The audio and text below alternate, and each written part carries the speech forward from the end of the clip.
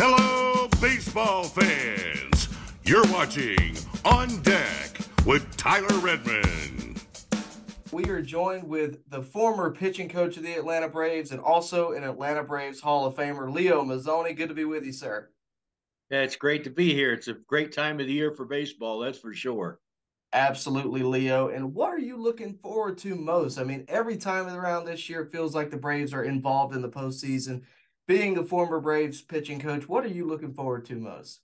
Well, what I'm looking forward to much is I'm glad they're playing Philly. I mean, I think that's a that, that is a rivalry, and they've been going at it for, for for a few years now. Even back in the day when they had Lenny Dykstra and Kruk and all those guys, uh, there was it, it was quite a, a, a rivalry among the two, and I I think that continues today. You can only have a rivalry if there's two good clubs, and I'm just happy that the uh, the Florida franchises Tampa Bay and Mar- and Miami are not in the playoffs because I don't think their fan base deserves it. To be honest with you, the fan bases that are in, crowds are loud, everybody's enthusiastic, and uh, it's what it's all about. Absolutely, I couldn't agree with you more. And let's let's turn the attention to the Atlanta Braves. Of course, they've been really great all year long. Uh, the offense has been, you know, through oh. the through the roof. But talk to me about this pitching staff. Who impresses you most? You know, is it the starters or is it the relievers? Well, I think that you got to, you know, it, once this postseason starts, you're going to have to get two starting pitchers hot, and I think uh, Strider and Max Fried are two guys at the top that can that can make you go. Uh, and I hope Charlie's available down the road. And uh, Ellerton's a good sinker ball guy, so you know it, it's there. And I think you get a break in the schedule when you have a game, then an off day, then a game, then an off day, as opposed to playing back to back.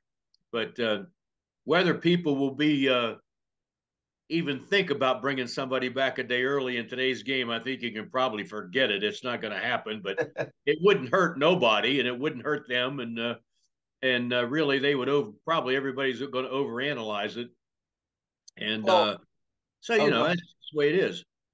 Absolutely. And you, you kind of alluded to Charlie Morton being out for the time being, but I, I want to focus on that because you you've been there before, Leo, and with the with the concerns about whether it be Max Fried's blister or Charlie Morton's finger sprain or whatever that is, when you get to this point and and now you're in the postseason, how how concerning would how concerned would you be if two of your starting pitchers all of a sudden were showing these issues? I'd be I'd be very concerned. I mean, uh, you know, uh, you you don't depend on your starters as much as you used to in the game today, as far as how far they're going to go in a game. Uh, but I would be certainly concerned, no problem, no question about it. And uh, if I got two of my guys that are that are that might not be able to pitch, uh, then that is a huge concern. To be perfectly honest with you. Absolutely. And how much would the, I mean, how much tax could that potentially put on your bullpen, especially in today's game? And, you know, how much stress does that put on the manager? Well, I, I, I think it puts more stress on on a manager and coaching staff as far as the bullpen's concerned. They're going to be ready to go, and uh, but heck, you put stress on the bullpen all year. Why are you going to change now? Not just for the Braves, but in baseball in general. You know, I just hope it doesn't get to a point like where the the Blue Jays manager takes a starting pitcher out in the fourth inning after a walk and he says scores nothing to nothing. So that to me is really getting overexposed on uh, on the analytical numbers. And uh, you know, so once this starts, you gotta you gotta there's a gut feel there that you got to have uh, as opposed to um, uh, just going with percentages. But uh, it would concern me as far as not having two starters in there would just you'd really have to piece it together. And I know, I know they can. They have a lot of uh, the Braves have a lot of good arms, and you know they've started so many different guys this year, and every time they've started somebody, they've responded well. So, um, uh, is a concern? Absolutely, it is. But the other teams have the same concerns too. And I want to give you a little bit longer of a chance because I wanted to talk to you about this anyway. The Jose Berrios being taken out after three innings how would Greg Maddux have reacted to that? There'd have been a fight on the mound. you know, that Glavine would, you know, we all would have.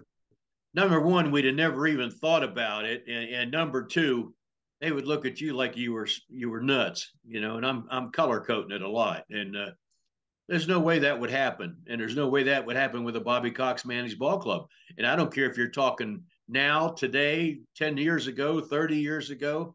Uh, I think that's basically a good example of how analytics has set back starting pitching 30 to 40 years. I, will agree with you there. And I will say on, on the Brave side of things, being under the helm of Brian Snitker seems to kind of nullify a lot of that. Uh, you, you don't see analytics driving everything. It may be some, but not to the point of where the Rays are or where the Blue Jays are this season. Well, and how think, much of that is Snitker and how much of that is the organization? No, that's that, that, that, a lot of it is Snitker. You know, you're you're paid to to know the game and understand it and know his players, and then you're also now expected to know some of the percentages. But if you look at the playoffs, Brian Snitker, he has a connection between the past and the present, right? Dusty Baker, uh, Bruce Bochy, you know. Uh, uh, so you have guys who are older, as they say, you know, that uh, are having success. Um, Tampa Bay, with all the all the numbers and all the gadgets that they use, are oh, and lost their last eight postseason games. So, you know, it's. Um, uh, it's good to see veteran managers having success. And Snitker's one of those managers who I think is as good as anybody in baseball. And uh, and I'm, I'm I'm glad he's having a lot of success. And I look forward to him continuing to have that success in the postseason. Matter of fact, I think they're going to win the World Series. Uh, that's good to know, Leo. Well, let's start with the NLDS. I know we talked about the Phillies earlier. Uh, when you look across the aisle over there, when you look at what their offense is, and you know they got two really good starting pitchers too that we'll see at some point in this series, Zack Wheeler and Aaron Nola. When you yeah. look across the aisle, I mean, how how impressed are you with that team and what they've done? I mean, it, it, they're a very different team than this Braves team, but you know they they've also made it to the postseason and they're here with us. So how do you uh, look at them and how how impressed are you with them?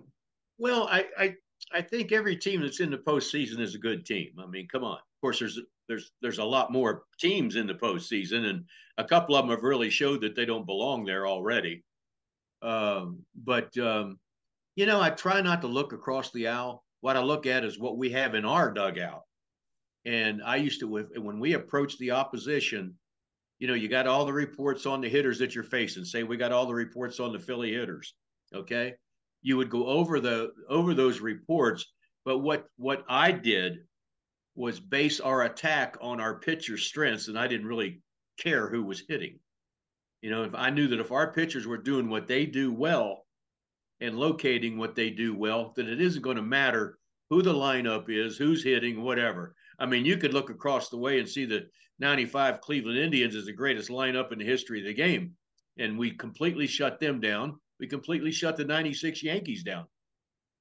But the base base was we weren't looking over at the other dugout going, oh my golly, you know, look at this guy, look at this guy. Wasn't looking at it like that. With I'm figuring they're looking at our dugout going, they got to face this lineup that the Braves have now. What do you think they're thinking on the other side? So therefore, base your attack on on what your pitchers do well, and know that the other side is looking at the Braves lineup as one of the greatest maybe in the history of the game.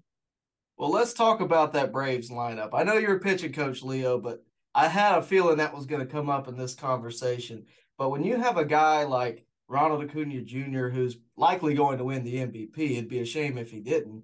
And then you also have Matt Olson, and really just throughout this whole lineup, there's guys that can, can take you deep on, on any given spot, and there's also guys that just flat out hit. And as a pitching coach, I mean, how much you know uh, comfort would that give you, knowing that your offense has the potential to put up five, six runs on any given night? Well, I, I think that's great for the team. As a pitching coach, I never concerned myself with the hitting area. As a pitching coach, my job was to take care of pitchers, and I, my job was to stay in my own area. So, how many runs we scored or didn't score, or this or that, wasn't my concern. My concern was our pitchers pitching at the top of their game and limiting the opposition to to minor damage, dam- having damage control one through nine. Now, when you have damage control on this particular Braves lineup, there's a real good chance you're going to win. You know, and uh, uh, and of course, you know, and the other, like I said, the other team's thinking the same thing. But as a as a coach, you stay in your own area, you take care of your pitchers, and you want to make sure pitchers don't complain about not getting any runs, et cetera, et cetera. But in in in in this case right here, if you talk to your pitchers about damage control, in other words, you can give up one run an inning three or four times in a game, you're going to win. So therefore, you try to have damage control in an inning, and and what you do is you uh, uh, uh, you don't let an inning blow up on you. And if and if the Braves pitchers don't do that, and I don't think they will, uh, they're always going to. That'll be plenty for our lineup. That's for sure. I'm going to ask you a couple more, Leo. Our relievers have gotten a lot of attention throughout the season. They've had their ups and downs. Going into the postseason, who's a guy that you know, not to say has to do well, but you look at as one of your guys that you can count on. I I, I hope Raisel Iglesias, for example, is one of those guys as the closer. But how do you look at the relievers, especially in today's game where it's so magnified? Like relievers are so important in today's game. How do you? Is there a guy that you look at in the bullpen that has to has to be on throughout the postseason? No, I think it's a group thing. It's it really is a group thing. You have to have your setup guys, you, you know, and then you have your matchups, and then you have your setups, and then you have your closer, this and that. But bottom line is this: you want your bullpen to be good, really good, then your starter has to stay out there for a while, and he has to stay out. If the, if our starters are going seven, you're not going to lose. You know, and pr- pretty much not going to lose. You know, now if you're going, they're going four and then everybody gets overexposed down there, and then it's you know back and forth. Uh, a fatigue factor could set in for your bullpen. There's not going to be a fatigue factor for your starters. No, what? No way. I mean, we had guys pitch 200 innings in the in the regular season, then pitch another 40 in the postseason, and it nobody's tired. When you hear people say, "Well, you know, uh, it's awful taxing on a young staff while these innings," that is so much a bunch of crap. You know, there nobody's tired when the playoffs start. There's no such thing. The adrenaline takes care of all that. But in order to take care of your bullpen to be extremely good, your starters always, to me, have to take care of your bullpen and not the other way around. When you look at the rotation, you know, obviously Strider game one, assuming Fried game two. When you go into game three, there's been a lot. That's been where most of the speculation is. Is it going to be Bryce Elder? Is it going to be some combination of Bryce Elder and Kyle Wright? You know, to cover the the seven innings. I mean, how how do you look at that? Well, Elder's been starting all year, so he he's he, he's he's going deep into games all year. So that's how I look at it. I don't put Kyle Wright into the equation of who does he back up with. I put Kyle Wright in the equation of when when when do we want to use him? Period, regardless of who's starting. So you you know, so to me, it's you you start the kid that's been pitching all year, and when he's on, he gets a lot of ground balls, and uh, and he's a gamer. Um, he never gives in. He he doesn't quit on nobody. I mean, I like him a lot. I think he, he actually is a pitcher that doesn't doesn't. Uh, here's the thing though, if if Elder's pitching, and Tom Glavine said it great on a telecast, if the umpire's not giving him the low strike, but he's giving him the high strike, that's not good for Ellerton. I'm going to tell you that that's not good for him. But if he's getting the low strike, it's real good for him. So that depends on that too. So, but you, I don't believe in this piggyback stuff. You know, I believe you start the guy you want to start, then use your bullpen accordingly. Whoever's available and who do you think can match up after Ellerton's done? But heaven forbid somebody goes nine. I appreciate you saying that because that's what I've been telling people too. Leo, I'm I'm gonna wrap with this. You know, I, I always ask you this: if there's a kid that's watching, if there's a, a young pitcher that's watching, I know you have a message for him. I know you know that you, you always preach, you know, the, the arm safety and and and all of that. I'm gonna give you a platform here. I'd love to hear it. Well, I, I think with the kids coming up, you know, uh, and the travel ball kids and everything like that, that uh, you cannot be c- concern yourself with how hard you ha- you ha- you throw. In other words, if your only goal is to reach a certain number on a radar gun or a certain velocity number, are you really raise the risk of arm injury?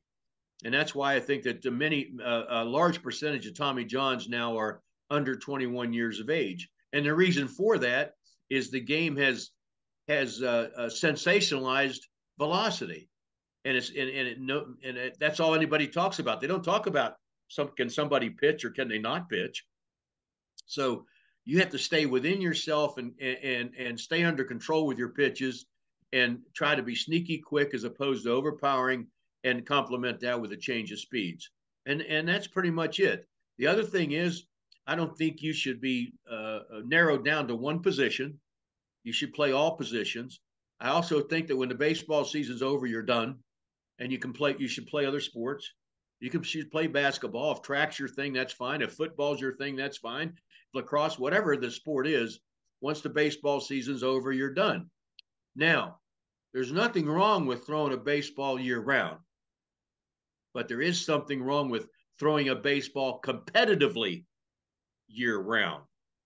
And that's the difference. Now, of course, you know, we when we when we were on the minor leagues, we went to winter ball, but we pitched year round.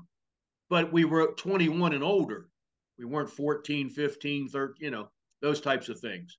So if you just use common sense like that, and I think the greatest p- teacher a pitcher has is innings pitched.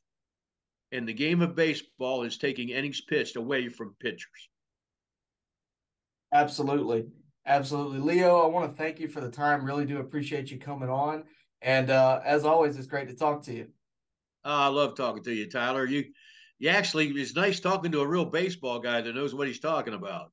Oh, well, I appreciate that. I really do appreciate that. Baseball fans, make sure you like and share this video and subscribe to this channel. As always, thank you for your support.